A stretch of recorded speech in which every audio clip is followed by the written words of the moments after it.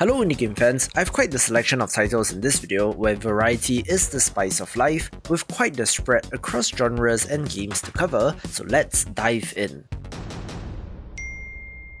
Fall Guys Ultimate Knockout is going free to play with the Free for All update, which feels like an attempt to revive the game after its heyday in 2020, falling from an astonishing 80 plus thousand average concurrent players to about 11,000 as of recording, where developer Mediatonic was acquired by Epic and the PC version will be exclusive to their store, but honestly, this game always felt suited for free to play, so let's see how this does.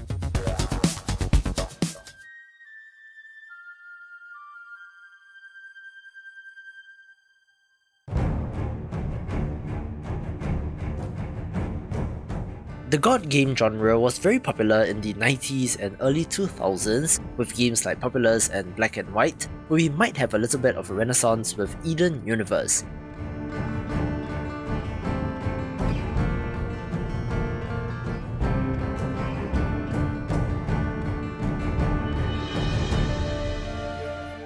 You have to lead your followers to establish a powerful civilization having an animal avatar as your representation like in black and white, and having some nice pixel art, making this one of interest.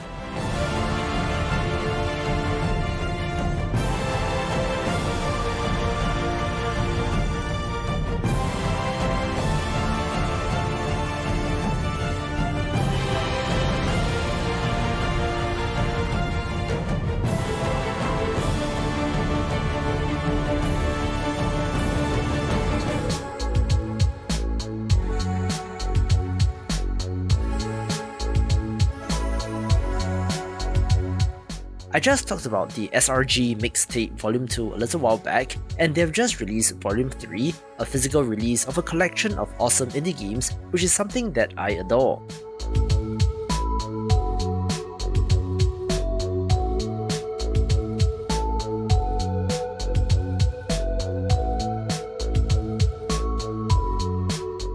One of the wonderful things about indie games is the sheer variety of experiences there are out there, with this release compiling 30 games and 6 demos for you to check out.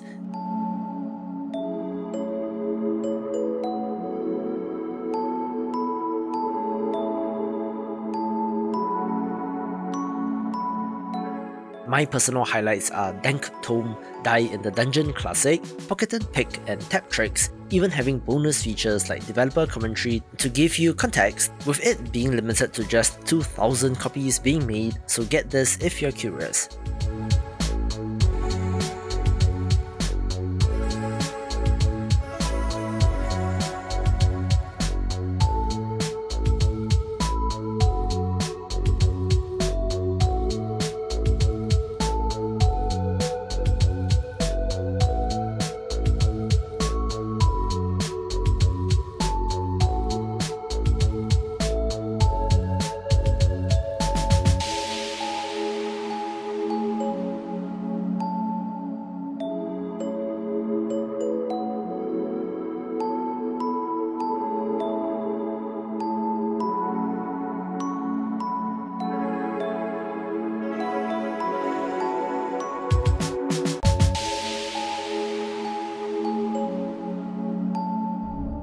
Courage and will.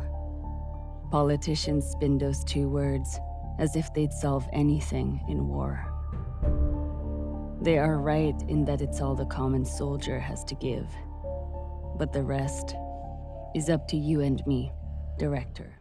I don't really play 4X titles, but an ambitious looking sci-fi entry is The Pegasus Expedition with a fantastic narrated trailer, so enjoy. Of that common soldier.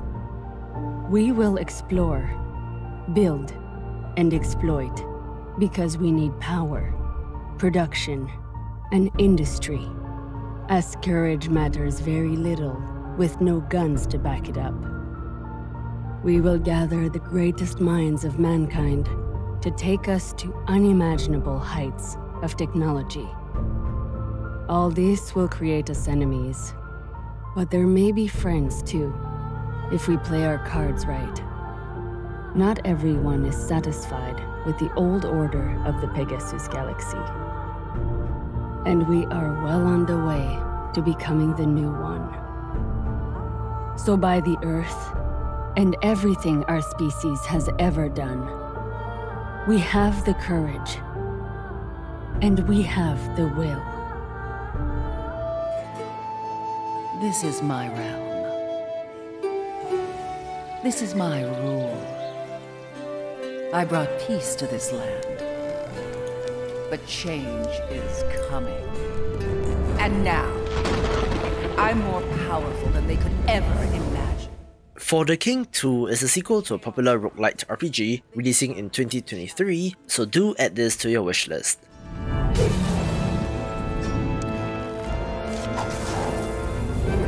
Gone are the heroes of the past. None who remain can oppose me. This is my realm. This is my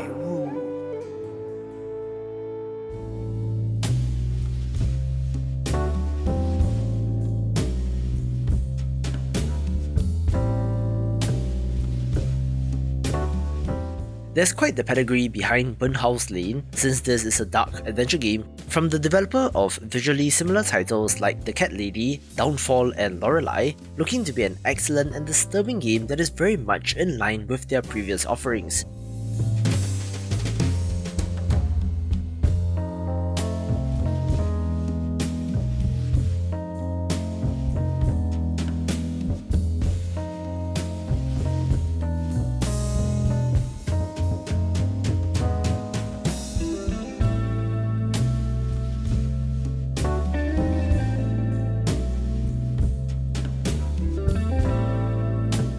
You play as a nurse who already has one foot in the grave, having to go on a series of tasks in order to get another shot at life, where in the way are all sorts of horrendous monsters with item-based puzzle solving and light combat and platforming elements as well.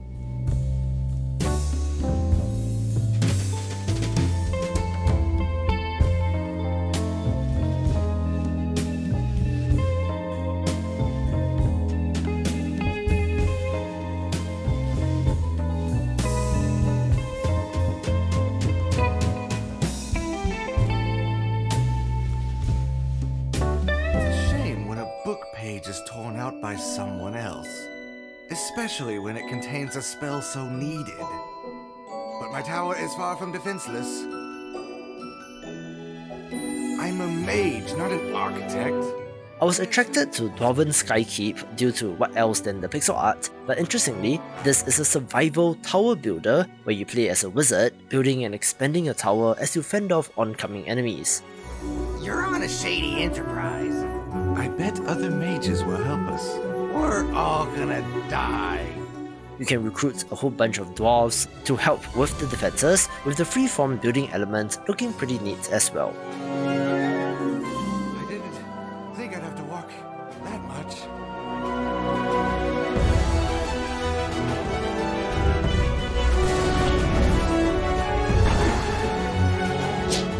Good thing I can leave hard stuff to dwarves don't have a reason to fight, at least now.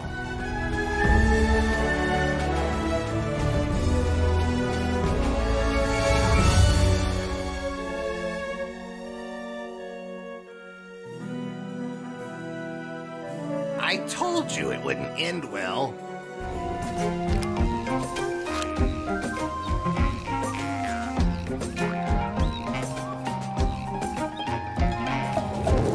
I covered the teaser trailer for Foretales during the Steam Next Festival, where this card-based narrative RPG looks awesome, but we do have a closer look at the gameplay here. Volpan made them an offer they couldn't refuse.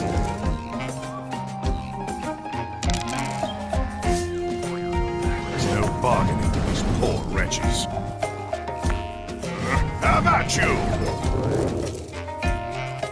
It does share elements from games like Magic the Gathering, where your units attack those directly in front of them, where nice change is that this is not a roguelite deck builder, but rather a linear title.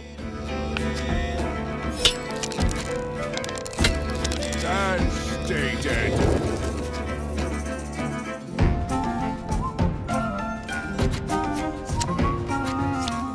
Add to that some gorgeous art and they got my attention, where its release is slated for summer 2022, so perhaps we will get the release soon.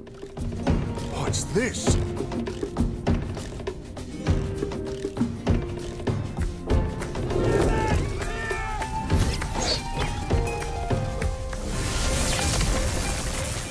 Still remember the early access launch day of Temtem back in 2020, where the servers got absolutely hammered and a lot of people had trouble getting in, and through the trials and tribulations, as well as quite a number of updates through early access, I'm happy to see the progress and to share that it will be releasing in 1.0 later this year.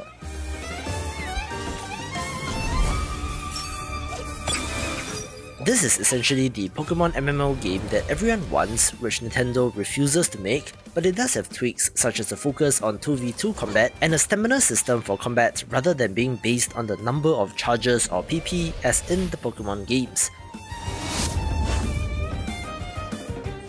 Like Fall Guys mentioned earlier, this has quite the drop off in concurrent users from 39,000 to 1,000, but the 1.0 release and console versions should bring it to new players.